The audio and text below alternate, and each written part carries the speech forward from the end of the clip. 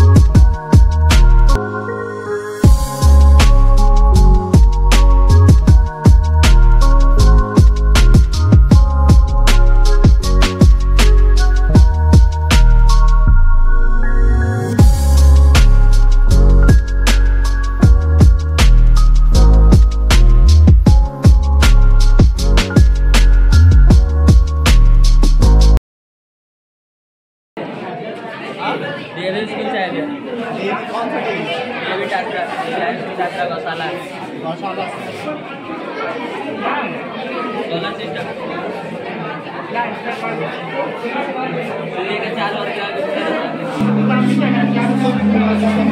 menonton!